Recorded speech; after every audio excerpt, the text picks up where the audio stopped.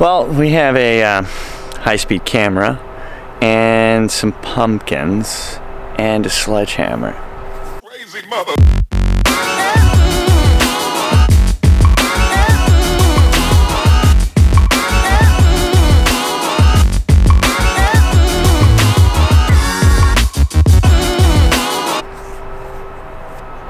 Things are about to get interesting.